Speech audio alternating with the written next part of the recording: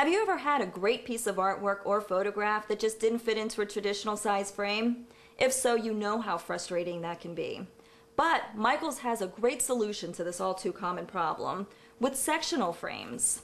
In addition to their full custom framing department, Michaels also has a line of sectional frames which offer you the freedom to choose your style and size. Plus, they're so easy to put together, anyone can do it.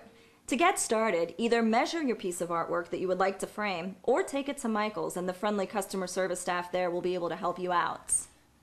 Also, remember, when you pick out your sectional frame, each frame package comes with two pieces. In order to make one complete frame, you're going to need to purchase two packages. One will be the length and the other will be the width.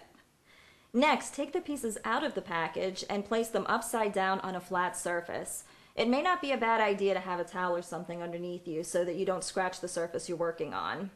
Then take the plastic wedges that came in the package and gently press them into the groove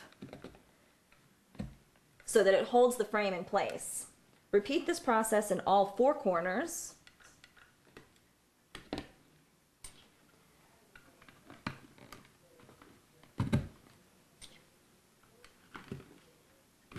Once you have all four corners in, you should have one complete frame.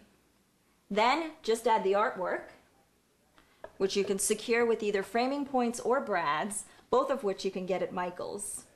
Don't forget to check out Michaels for all your framing needs.